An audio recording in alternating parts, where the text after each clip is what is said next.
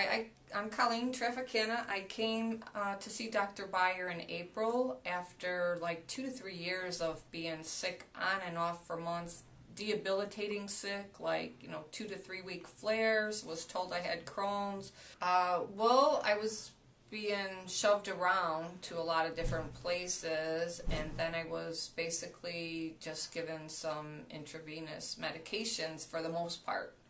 Mm-hmm. Um, and it wasn't helping. As a matter of fact, the last straw was just before I came to see Dr. Beyer in the spring of 2015.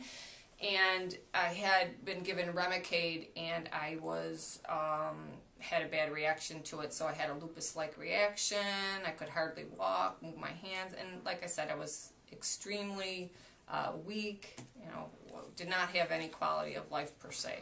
I feel great today. I mean, I'm I have to watch my diet, which well, you know, I just was mentioning to Dr. Beyer, you know, watch my diet and my lifestyle, or take some heavy duty duty medication that could have serious side effects. So uh, my energy's back. I feel like I'm basically having a normal life again. Hoping to go back to work again at least a couple days a week.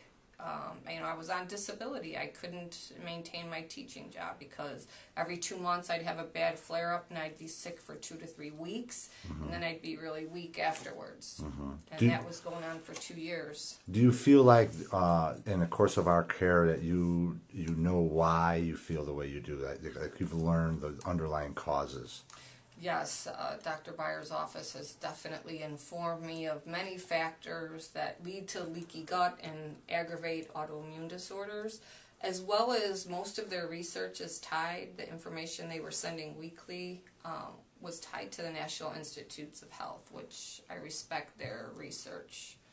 So, um, yeah, I, you know, basically they taught me how to eat right, to heal my gut, different supplements that could, you know, in, increase that healing of the gut also. hmm That's great, Connie. Thank you.